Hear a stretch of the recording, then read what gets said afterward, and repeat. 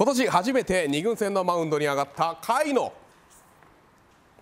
上半身と下半身のバランスを意識したと先頭バッターを変化球で見逃し三振に切って取ると。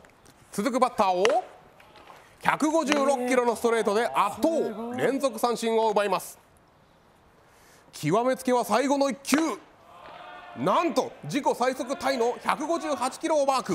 1回を投げ3者連続三振。復活へ大きな一歩を踏み出しました。モイネロも今いませんし、えー、森さんも